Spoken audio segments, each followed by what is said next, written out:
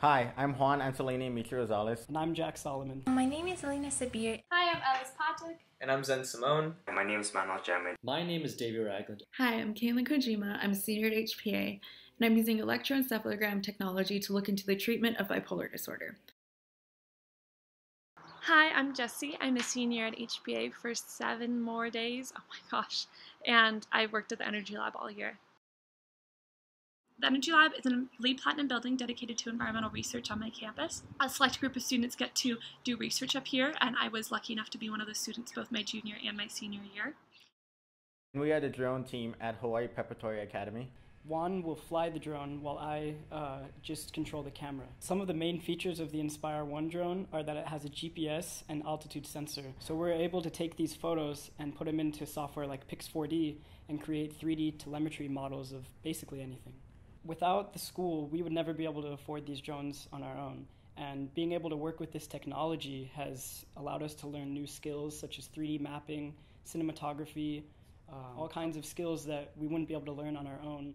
The purpose of the color project is to, to find an associated brain pattern with three primary colors of light, which are blue, green, and red. So some of the conclusions that I um, ended up with were that um, there is actually no pattern associated with each color, but within each person, the frequencies for each color differs, which proves the point that when you look at different colors, your brain responds differently. When people look at colors that they like, their um, brain is more calm, and when they look at colors that they don't like, their brain is more active. In the early winter, we began with the environmental audit. We use NOMAD sensors to measure CO2 level, temperature, sound, and humidity in classrooms at the lower campus. We then made alterations to the classrooms to better optimize the learning environment.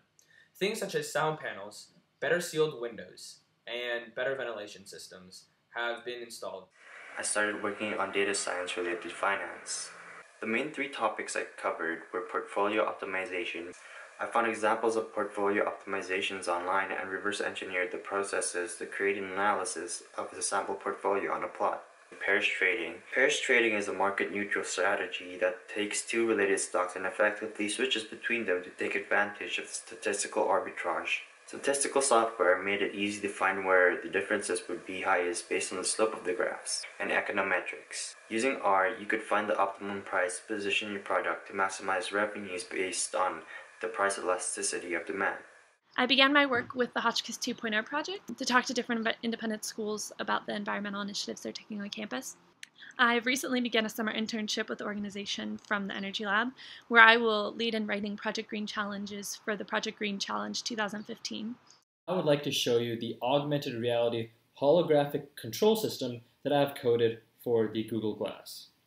My goal with this project was to create a new, more intuitive way of interacting with and comprehending digital data systems by blurring the line between the digital world and reality.